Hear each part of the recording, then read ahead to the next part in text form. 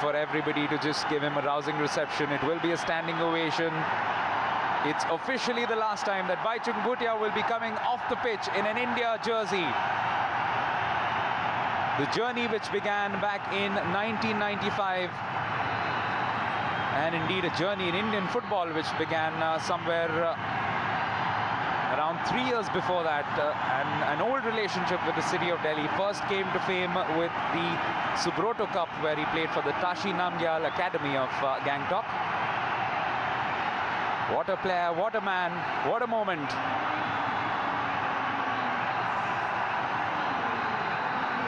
And it's a symbolic passing of the flame perhaps because it's young CS Sabith who comes on in place of Baichung Bhutia. The future of Indian football coming on in place of uh, what has been a glorious recent past. Yes, that is a million dollar question if one can say. And uh, one would perhaps suggest that there are a few players who are ready to step up to the plate, but uh, there is no replacing Baichung Bhutia, that's for sure.